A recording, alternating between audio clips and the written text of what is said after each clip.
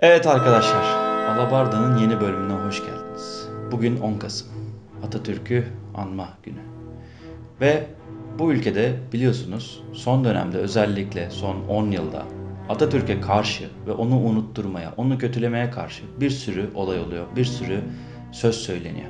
En son geçtiğimiz gün yayınlanan ve Oğuzhan Uğur'un kanalı Babala'nın unutturmayacağız ve unutma dediği video gerçekten çok güzeldi ve YouTube'da özellikle ve daha sonradan da keşke ana akım medyada da bu tarz işler yapılmaya devam etse ve biz unutturulmaya çalışılanları unutturmasak. Şimdi orada şey var zaten.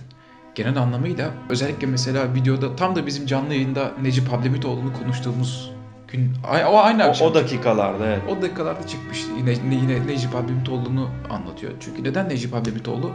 Önemli olan noktası şu. Fethullah Gülen ve cemaatinin maksadını, amacını anlattığı dönemde ve özellikle Fethullah Gülen cemaati üzerinde çok yoğunlaştığı araştırmalar yaptı ve Köstebek diye bir kitap yazdığı dönemde. Yine benzer bir şekilde aynı dönemde Nuh Mete Yüksel'in Fethullah Gülen ve cemaati hakkında Devlet Güvenlik Mahkemesi'nde açtığı davada yine Necip Hablemitoğlu'nun yayınlamış olduğu yazıları delil olarak sunduğu dönemde Adalet ve Kalkınma Partisi hükümetin başına geldi ve hükümetin başına gelmesinden yanılmıyorsam bir ya da iki ay sonra çünkü Aralık ayında öldürüldüğüne göre ve Kasım seçimlerinde olduğuna göre iki ay içerisinde Necip Hablemitoğlu kimliği belirlenemeyen kişiler tarafından faili meçhul bir cinayete kurban gitti. Necip Hablemitoğlu'nu bana kalırsa en önemli özelliklerinden biri aynı zamanda hem kendisini sağlam bir milliyetçi, sağlam bir cumhuriyetçi ve aynı zamanda da Sağlam bir Atatürkçüydü. sağlam bir Atatürkçü olmasının yanında Fethullah Gülen ve cemaatini herkesten önce çözen adam olmasıdır. Çünkü kendisinden önce gelen insanlardan mesela Aziz Nesin gibi,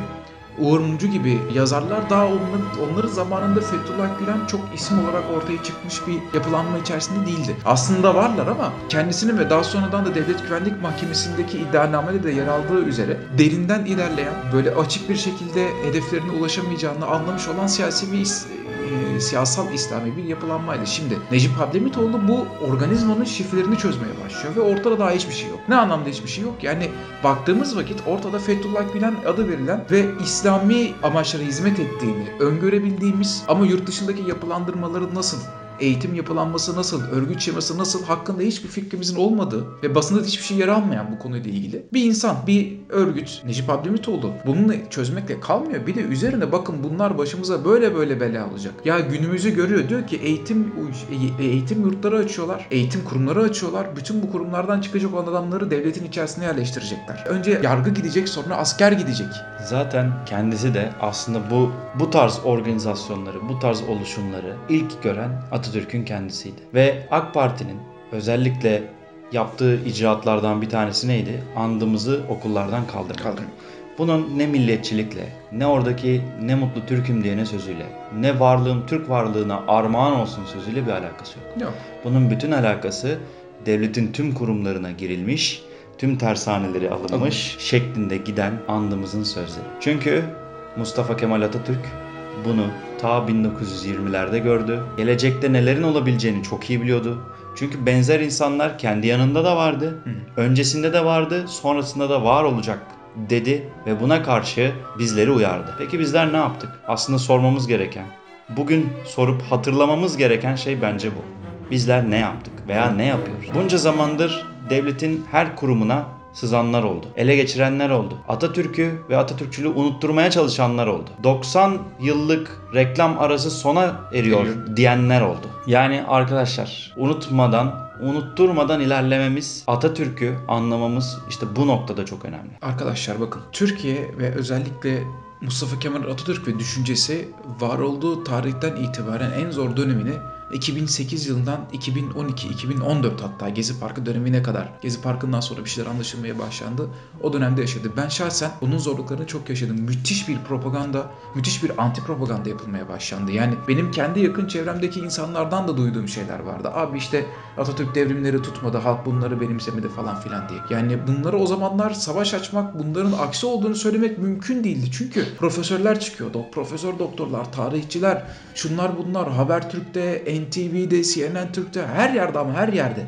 İşin garibi Sonradan fark ettim ki meğer memleket solcusu da zaten Atatürk'ün devrimleri tutmadı demeye çok meraklıymış. Sıradan hepsi geldi. Halbuki sokağa biraz çıktığınız vakit Atatürk ilke ve inkılaplarının tuttuğunu, halk tarafından benimsendiğini ve nesiller boyunca sürdüğünü devam, et, devam ettiğini görmek çok kolay. En basitinden. Bugün halkta insanlar, erkekler kafalarına fes takmıyorlarsa hala ve kadınlar saçma sapan karı çarşaflar içerisinde gezmiyorlarsa bunlar Atatürk ilke ve inkılaplarının sonucuydu. Ki en basitinden 1960'larda ve 50'lerde BBC'nin Türkiye ile ilgili belgesel amacıyla geldiğinde çektiği fotoğraf ve videolar var. Nevşehir bakın Anadolu'nun bağrındaki bir şehrimiz değil mi? Ve Nevşehir'de bir köy kahvesine gittiklerinde çektikleri fotoğrafı bir bakın. O fotoğraf internette var, YouTube'da var. Her yerde bulabilirsiniz. Başında Ecevit kasketi, üzerinde ceket, gömlek, kravat şeklinde oturan, o zaman sigarasını içen köy kahvesindeki bir adam ve arkasında da diğer insanlar. Bugün böyle ortam yok. Bugün insanlar bu- inanılmaz karışıyor birbirinin kıyafetine. Yok o ne giymiş, yok bu ne giymiş, yok o neymiş. Kıyafet devrimi vesairesi aslında özgürlüktü. Bunu canlı yayın videomuzda bahsetmiştik. Merak eden onu izleyebilir. Burada devrimlerin amaçları çarpıtılıyor. Tıpkı tıpkı Atatürk'ün diğer başarılarının da çarpıtılmaya çalışıldığı gibi. Enteresan olan nokta şu. Nereye varmak istediklerini Atatürk ilke ve inkılaplarının özellikle devrimleri demek daha doğrudur benim gözümde. Çünkü hepsi özellikle Osmanlı kadar hantal kalmış, geride kalmış ve kendi mahiyetindekileri de geride bırakmış bir yapıdan sonra öyle ciddi bir ilerleme, öyle ciddi cumhuriyet kazanımları elde edilmeye başlanıyor ki bu kazanımlardan bugün kalkıp da işte böyle aslına bakarsanız kendisini kötüleyenler de faydalanmış oluyor bir noktada. Yani özgür basın, demokrasi, seçimle gelmek gibi bütün temel kazanımlar bir noktada siyasal İslamcı dediğimiz bu insanların da işine yaradılar. Peki neden bunu unutturmaya çalıştılar? Arkadaki motif neydi? Bütün bu Ergenekon, balyoz davaları bizim başımıza nasıl geldi? Aslına bakarsanız bu noktada daha sonradan videonun sonunda değinmeye karar verdim şu an ama Oğuzhan Uğur'a da değinmek istiyorum. Çünkü güzel bir video çekmiş. Çok beğendiğim video. Ama öncelikle şunu söyleyelim. Neden yapmaya çalıştılar bunları? Şimdi genel anlamıyla Türkiye Cumhuriyeti'nin bulunmuş olduğu konum bize işte lisede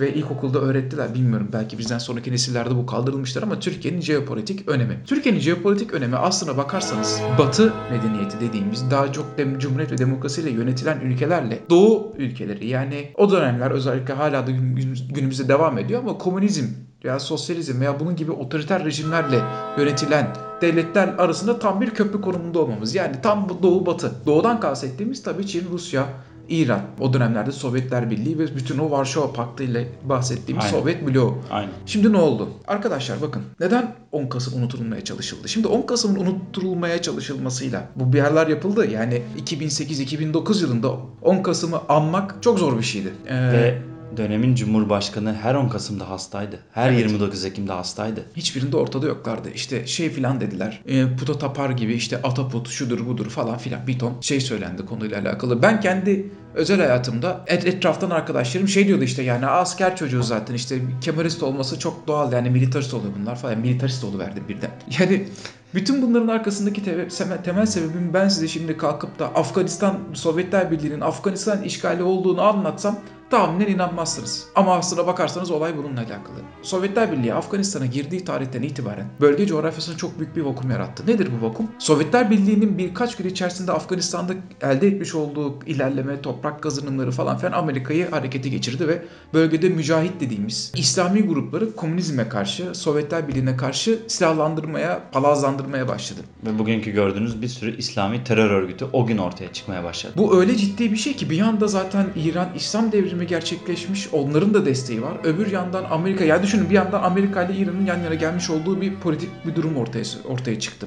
Bütün bu süreç içerisinde Sovyetler e, ve Sovyet sosyalist öcüsü Türkiye Cumhuriyeti'ne de ağırlığını hissettirmeye başladı. Çünkü o zamanlar bizim sınır komşumuz yani. Bunun karşılığında Amerika Birleşik Devletleri aptal ve saçma bir şekilde Türkiye Cumhuriyeti'nde İslamcı hareketlere, İslamcı partilere, mücahitlere ve bunlara yakın olan siyasi görüşlere destek sağlamaya başladı. Necmettin Erbakan ve Felikası'nın Milliyetçi Hareket Partisi'nden ve Milli Cepheden çıkıp Refah Partisi, Saadet Partisi, Fazilet Partisi gibi oluşumları kurabilmesinin arkasında ve Recep Tayyip Erdoğan'ın daha sonraki dönemde Doğu Perinçek'in yazdığı üzere, Doğu Perinçek'in yazmış olması çok ironik, e, Amerika'ya gidip onlardan Abramovich'ten şundan bundan destek alması falan filan hep bu şey karşısında. Neden bunu tercih ettiler? Çünkü aslına bakarsanız bugün Amerika'nın kendi CIA ve FBI sitesinde de yer aldığı üzere Amerika Kemalist oluşuma ciddi anlamda devletçi, sosyalist bir anlayış olarak bakıyor. Nedir buna kalırsa? Neden Amerika bunları bu şey? Çünkü içerisinde halkçılık, devletçilik gibi, milliyetçilik gibi kavramları barındıran Kemalizm Amerika'nın bütün Kapital düzenine uymuyor. kapital düzenine o uymuyor. eski Sovyet canavarına benzetiyor. Ya daha doğrusu tam anlamıyla düşman olmuyor. Yani hani öyle bir yani öyle bir düşünce anlayışı ki zaten yani milliyetçilik var, devletçilik var ama öbür tarafta uygulamada ferdi teşebbüs o zamanlar öyle geçiyor ferdi teşebbüs hastasıyım yani özel sektör de var. Dolayısıyla Türkiye Cumhuriyeti ihtiyaç duyduğu anda Doğu bloğuna, ihtiyaç duyduğu anda Batı bloğuna yanaşarak iki taraf arasında stratejik oynamalar yapabiliyordu. Ki uzun yıllarda bunu dengeli politikayla evet. Dengeli başardı. politikayla bunu başardık. Sonra ne oldu? Yani Atatürk'ün düşüncesi Amerika'nın ve özellikle de CIA'nin şeyden sonra yine benzer şekilde Afganistan'ın işgali sırasında ortaya çıkartmış olduğu mücahit grupların yaratmış olduğu o İslami devletlerle Amerika tekrardan mücadele etme ihtiyacına girdiğinde ki nedir bunlar işte Saddam, işte İran, Suriye, bütün bir Arap coğrafyası ve oradaki o Müslüman kardeşler, Bağızlar, şunlar. El-Kaide'sinden IŞİD'ine. El-Kaide'sinden IŞİD'ine kadar hepsiyle mücadele etme yoluna girdiğinde kendisine asker lazım, kendisine üs lazım, kendisine lojistik destek lazım. Bu lojistik desteği Adalet ve Kalkınma Partisi'nin girdiği ilk mecliste, seçildiği ilk dönemde elde edemediler. Aslında ediyorlardı çünkü hatırlarsanız o günlerde ben Büyük Ortadoğu Projesi'nin eş başkanıyım demişti bugünkü Cumhurbaşkanı. Ama partinin içerisinde ve muhalefetten yeteri kadar desteği alamadılar. Çünkü önlerine açıkçası Kemalist düşünce çıktı. Bugünkü Ergenekon ve Balyoz operasyonlarının arkasında oraya yani hapse atılan generallerin önemli bir kısmı benzer şekilde Atatürk